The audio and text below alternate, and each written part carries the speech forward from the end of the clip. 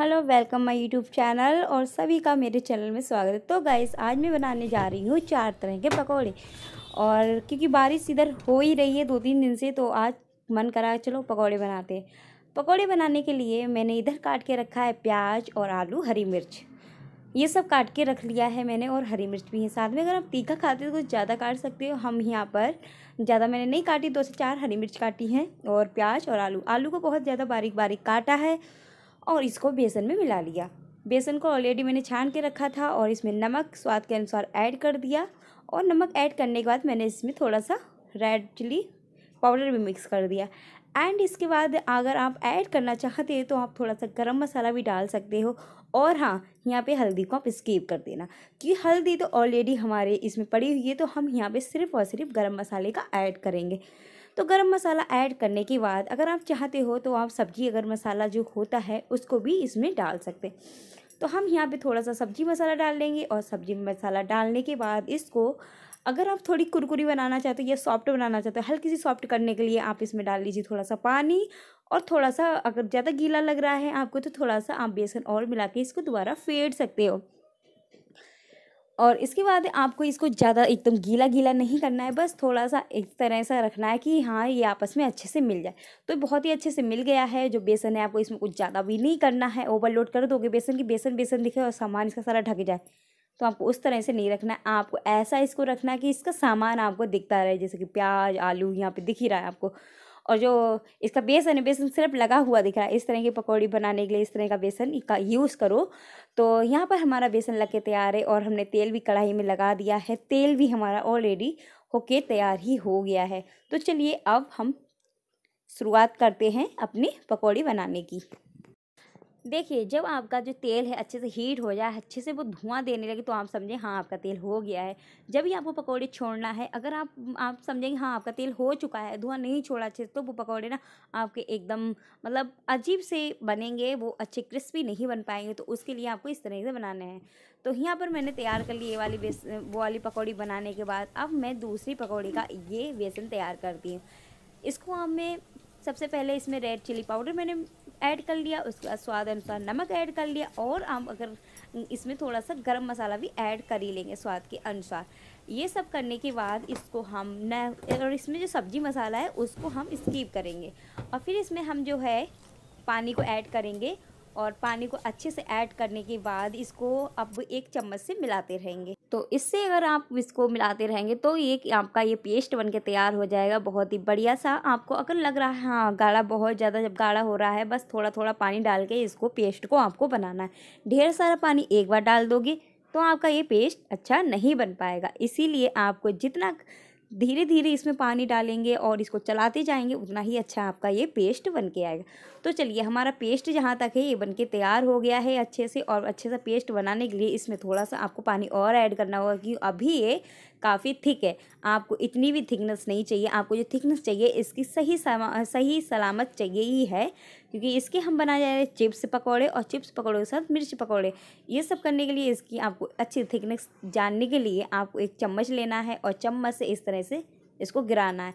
आपका ये पेस्ट गिर रहा है इस तरह से तो आप समझिए आपका पेस्ट तैयार है। तो इधर हमारे जो पकौड़े थे, वो बीच बीच में चलाते भी रहे और देखिए हमारे पकौड़े बनके तैयार हो गए। और एक तरफ़ मैंने इमली की खटाई बनाने के लिए इमली को भी पानी में रख दिया है गैस पे। तो इसकी मैं खटाई बनाऊँगी, लेकिन इसकी जो रेसिपी है, उसे मैं शेयर नहीं कर पाई हूँ, लेकिन मैं इसे नेक्स्ट टाइम ज़रूर शेयर करूँगी। तो चलिए हमारे ये पकौड़े बन के तैयार हैं, इन्हें हम निकाल लेते हैं। देखिए, एकदम कुरकुरे, क्रिस्पी पकौड़े बन के आए हैं और इस तरह से अगर इसका सारा देखिए सब कुछ दिख रहा है, ये पकौड़े खाने में बहुत टेस्टी लगते तो चलिए, अब लिया हमने दूसरा बेसन। दूसरा बेसन और चिप्स, आलू जो थे, आलू को मैंने चिप्स टाइम में काटा और उनकी कटिंग इस तरह से करने के बाद बेसन में डिप करके मैं इनको कढ़ाई में डालती जाऊँगी।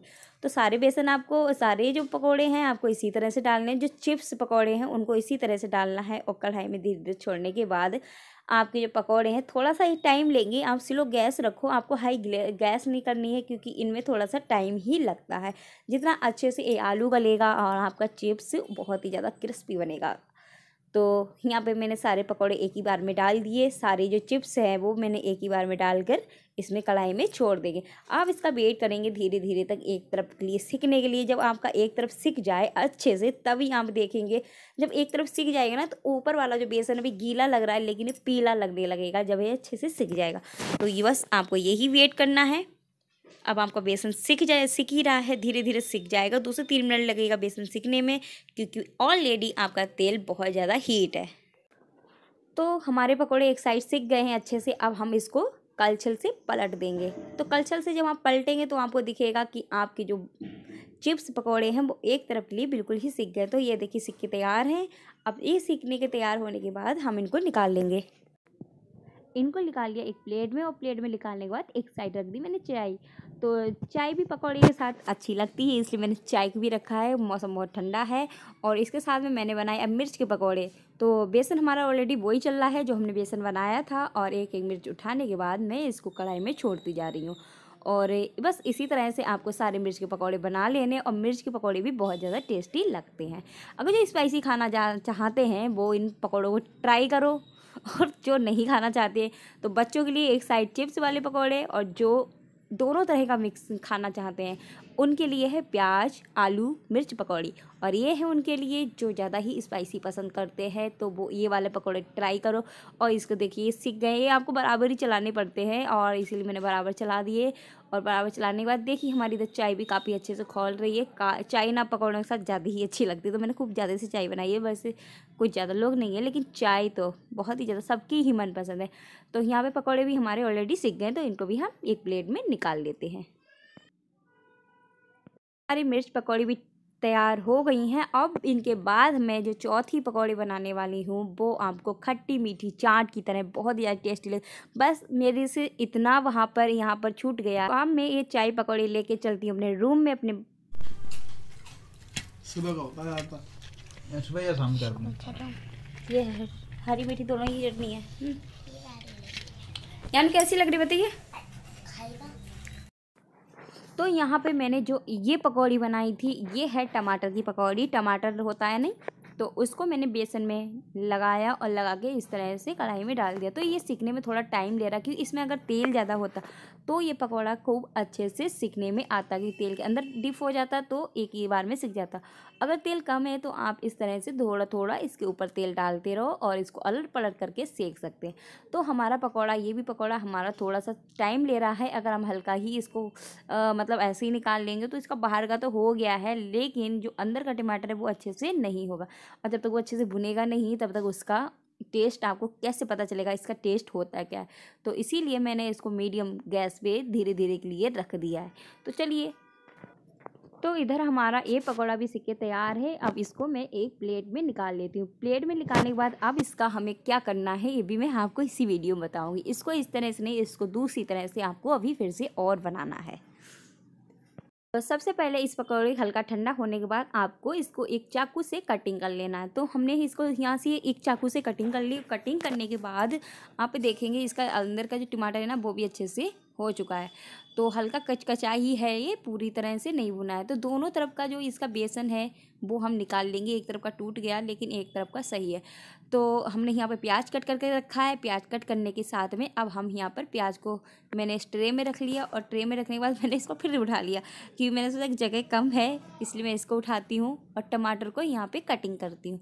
तो यहाँ पे सबसे पहले मैंने इसको बाउल्स में रखा और बाउल्स में रखने के बाद मीठी खटाई मीठी चटनी को मिलाया एंड खट्टी चटनी को मिलाया, ये सब मिलाने के बाद अब हम इसमें ऐड कर देंगे जो मसाले, अब जो भी मसाले खाना चाहते हो, वो मसाले ऐड करो। तो सबसे पहले मैंने इसमें थोड़ा सा नमक ऐड करा और नमक ऐड करने के बाद इसमें हल्का सा मिर्च रेड चिली पाउडर ऐड करा। और ये सब ऐड करने के बाद इसमें जो टमाटर आपने भूना था, जो टमाटर पकौड़ी बना था वो टमाटर निकालने के बाद आप इसको कटिंग कर लो। तो मैं इसकी अब छोटी छोटी सी कटिंग कर लूँगी सारे ही टमाटर की इस तरह से। और इसका जो पानी निकलना ना चाहिए, रस, यही सबसे ज़्यादा ज़्यादा इंपॉर्टेंट चीज़ है। ये खट्टा मीठा इसका रस होता है। इसको ऐड कर लेंगे हम इस प्याज के पेस्ट में। प्याज के पेस्ट में ऐड करने के बाद इसे हम एक स्पून की मदद से अच्छे से मिला लो। तो अच्छे से मिलाने के लिए मैंने लिया यहाँ पे एक स्पून और और जो टमाटर का आधा हिस्सा बचा था वो भी मैंने इसी में कट कर लिया। अब इसको क्या करना है? आपको लेना है जो आपकी टमाटर की बची हुई बेसन की जो पकौड़ी है उसको लेना है। और इसको आपको इक्वल बिल्कुल रखना है। बिल्कुल इसी सेब में पकौड़े की तरह। है और इसको इस तरह से रखने के बाद जो आपने पेस्ट बनाया है टमाटर और प्याज का, उसको आप इसके अंदर इस तरह से भर दीजिए और भरने के बाद इस तरह से अब जो ज़्यादा स्ट्रॉन्ग है, वो सारी ही आ जाएगी। जितनी आप भरना चाहो, उतनी भर सकते कम भरना चाहते कम, और ज़्यादा भरना चाहते ज़्यादा।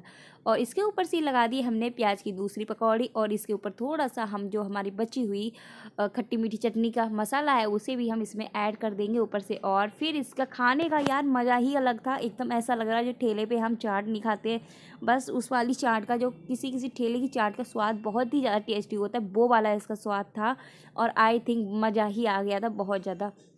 तो ये बनके तैयार है हमारे आज का। यही था। वीडियो अच्छा लगे तो लाइक करना।